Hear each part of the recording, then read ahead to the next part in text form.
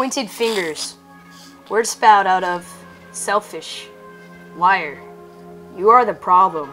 And sudden emotions of confusion, anger, arise within every inch of my body. You want to fight, you got one. It comes down to a he said, she said fight. But should I approach it in this way? Should fighting be met with fighting?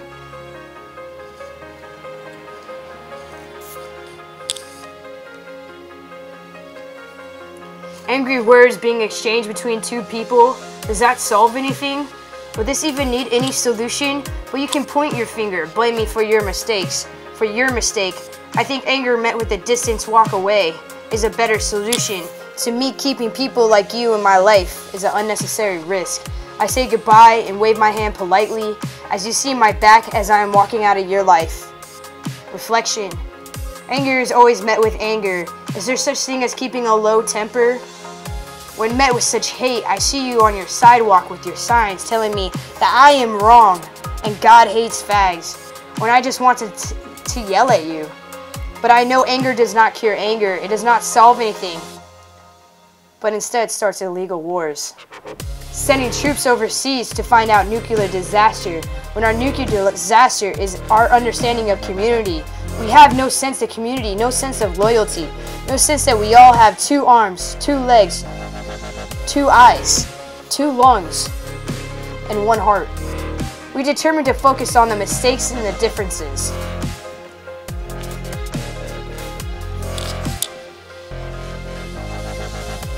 that we all have. And create a sense of hatred towards each other, a race up the ladder, a race to the top, and fuck the rest that is under us. We need you there in order for us to be up here. Well, I say fuck you. I wouldn't want to reach the height that you have reached in the way you have. I choose not to step on people regardless of what you and you may think. But I will pick people up to realize that everyone is a possibly human as human can get. What does it even mean to be better than another? Why does it even fucking matter who's better than someone else?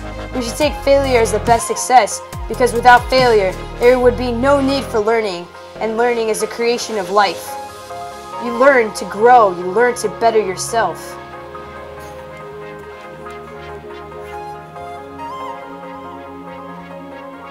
You learn to live. Live as I forgot that he said, she said bullshit. I move on with my life and remember to see the beauty and to remember to live and to remember to say honest to all those that surround me. Soak in the sun's rays as they flow through the sky, feeling revitalized. I will continue to promote the values and the value creation that four years at this institution has forever buried deep inside me. Hope burns and flames. With every morning I get out of bed, remembering that a year ago, this task was not as easy as many think. I say go ahead and point your finger straight at me. Blame me for all your problems and take reason why things haven't worked out for you.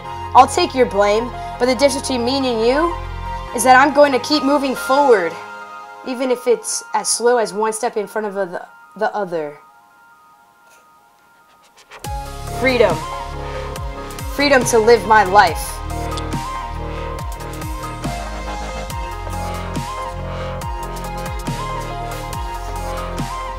Outsider. One who is looking in from the outside, one who is not familiar, one who is not from, one with expectation, postulation, conjecture, assumption, belief, or judgment, led to believe that what you are looking at is what it is. Without knowing what it is to be a part, you see promiscuity and this partying scene, what the media portrays, what the public eye wants to see, that's what you think, that's what you find. The things that you want to see, the things that everyone else wants to see, is what you're going to see. You can see the provocativeness, you can see the radical protest, you see the anger in the fight, but you don't see the normalcy. That we live our lives from day to day. Insider your community, your people, your familiarity. You create a knowing that these people are not what you thought until you become a part, a part of a community that isn't what is portrayed. Work from 9 to 5 school on a daily basis. The demographic is just as diverse as the counterparts. Smiles and laughter, sharing memories and like experiences. Nothing seems more gratifying than being a part of something. The difference between me and you is that I'm going to keep moving forward even if it's as slow as one step in front of the other. Freedom. Freedom to live my life.